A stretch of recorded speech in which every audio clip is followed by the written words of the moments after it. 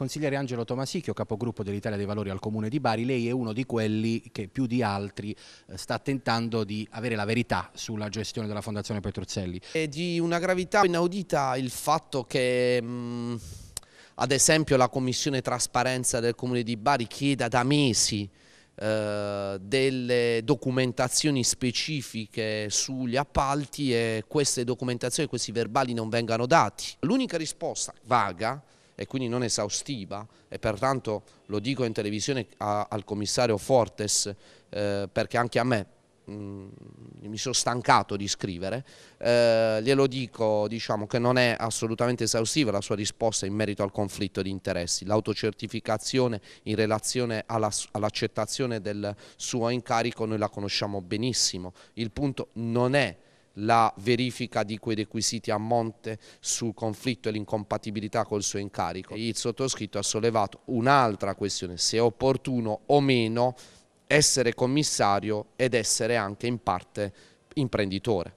La mancanza di revisori dei conti in fondazione dal 20 aprile. In una gestione eh, già commissariale eh, il fatto che non vi sia un collegio dei revisori dei conti dal 20 aprile e che il commissario stesso magari non chieda con una certa urgenza eh, da, eh, da, parte del Ministero di nominare eh, eh, questo collegio dei revisori dei conti costituisce un vulnus, un vuoto fortissimo ehm, nell'ambito diciamo, della regolarità e della correttezza delle attività che vengono svolte dal commissario, che sappiamo benissimo che ha pieni poteri e pieni funzioni. La gara della custodia e guardiania e ovviamente lo ribadiamo, non intendiamo quella fatta a luglio vinta dalla Urbe, gara europea assolutamente senza, senza quello che chiedevamo, assolutamente. Che chiedevamo. Il problema è ciò che è capitato prima. Siamo soddisfatti eh, come consiglieri, ma in particolar modo i componenti anche della Commissione Trasparenza